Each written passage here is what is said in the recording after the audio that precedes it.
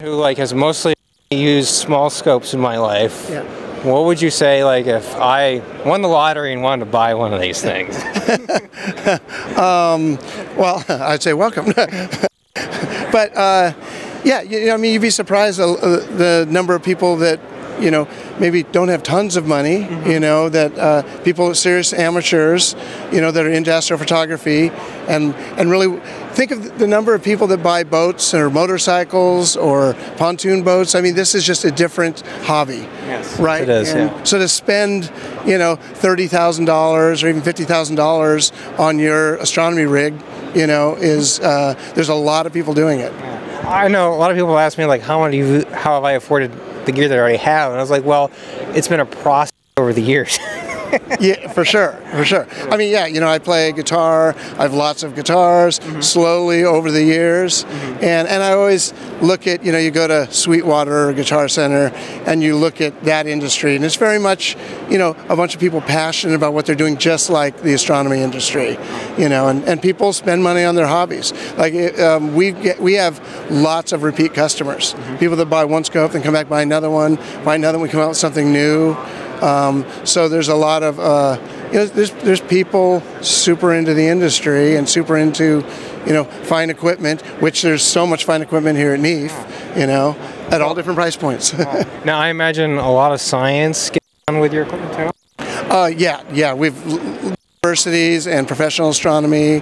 Um, we have a lot of customers doing that. We have we just sold a one meter RC up on Chara, the Chara Array, which is an interferometer up on Mount Wilson, which is I'm super. You know, Mount Wilson was always one of those Yeah. cathedrals of uh, astronomy, and so we have a telescope there now. And we also have a telescope on Mount Palomar, which is now we have two of them there. How big are those? Uh, we have a one meter, and I think the other one was like a 24 inch. So yeah. Now, question: Are you guys wrapping your own carbon fiber yet, or is that still something outsourced? No, we outsource the carbon fiber. We have good vendors for that. What we basically do as a company is if something is like only made by aerospace people, you know, so it's way too expensive, we do it ourselves. Or, or if it's something that's hard to uh, find someone to do it, then we do it. Ourselves. So we do a lot of things. We we make our we build our own direct drive motors. We actually wind the coils for them. Oh wow! Um, we design most of our electronics, though we also use industrial uh, motor controllers. Um, we uh, we grind, we machine our own mirrors to the shape of the mirror, the light weighting of the mirror, and then we grind and and figure them. We uh, optics machines for making big mirrors, even like a 12, 12 and a half inch telescope, which maybe isn't that big to, to this uh, group, um, is still a big mirror in the optics industry. So the machines that are out there are not really made to make mirrors like that. So we've designed our own uh, opt- computerized optics machines.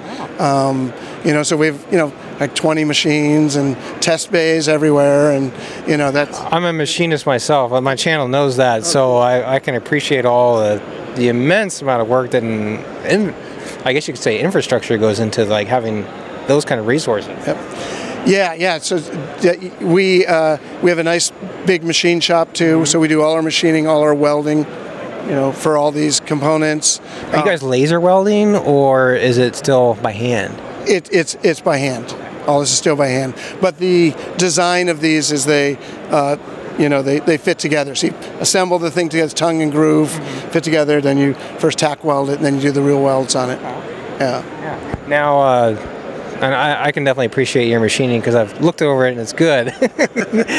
Some of those bigger mirrors, you must have to like take into consideration maybe like how they change shape, maybe as they different ways. Is that something you, or do you try to build them like stiff so that they don't do that? Well, I know I'm way out definitely. of my league here, so. I mean, look, a, a big. So on a lot of mirrors, we hold them at the center. Okay. So we have a core hole in the center, and we hold them at the center, and you have to account for your change in your gravity vector. When you're pointed like this, it might go like this, and when you're pointed like this, it may bend back. So you have to FEA everything to make sure we're staying in our diffraction limited tolerances of the way we hold it. The other thing you have to account for is we use uh, fused silica, which is almost a zero expansion glass. It hardly changes its shape with temperature at all, but the aluminum uh, hub that's holding it changes its shape a lot. Aluminum moves Yeah. a lot with temperature, so you have to have flexures built into it to account for that. So you, under temperature change, you don't uh, warp the mirror. Um, so Very interesting. Very interesting. it's a lot. A lot into. We always joke that you never stop learning with telescopes, and we're always learning. We design something new, and then telescopes kick your butt again. You know, and Now that diffraction limit is that a fixed number for all your scopes, or does it vary based on the size? well, diffraction limit is the uh, is basically Once again, I'm out of my league here. diffraction limit is basically how well light focuses. If you have a, if you're looking at a star, it's a point source, you know, out at near infinity, and you focus it down to a point, it actually doesn't focus down to a point. It focuses down to a thing called an airy disk. And a diffraction pattern. So there's, an, there's a kind of a disk and then rings that go around it, and that's really because light is acting like a wave uh, in this case, and it and it forms this fraction, diffraction disk. So we want to focus all the light uh, better than a diffraction disk. So, so light is the limitation to how well the telescope focuses, and that varies with size. That diffraction disk size, if you double the size of the telescope, you half the size of the airy disk. So the bigger telescopes, you know, are even harder to make. The tolerances get tighter. I imagine. Now this guy behind us, I know on one side there's a Losmandy plate. Yep. The other side, what's what's this larger type of dovetail called? We, it's just plain standard dovetail. Yeah. So we just have a, you know, we were making bigger telescopes, and uh, on our smaller telescopes, like 14s on down, we use the same Losmandy standard, and uh, this is sort of the plane wave standard on the other side. So for holding, you know, we started off making 20-inch telescopes, and we're like, and we need a big, you know, big dovetail to hold this thing. All right. Hey, Richard, that was really awesome. I learned. a lot. Thank you so much. hey, thank you very much.